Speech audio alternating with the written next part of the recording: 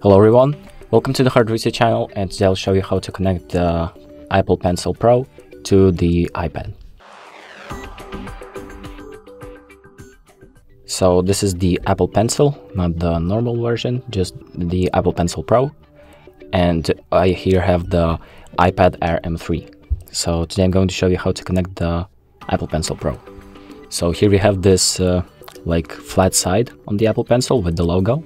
So what we're going to do is just align the flat side uh, to the top of the uh, iPad like that. So you should see the, this notification pop up on the top that says Apple Pencil Pro. And once that's done, we can take out our Apple Pencil. And as you can see, if you test it out, now the Apple Pencil works. And that's about it. Thank you for watching. I hope this video helps and make sure to like and subscribe.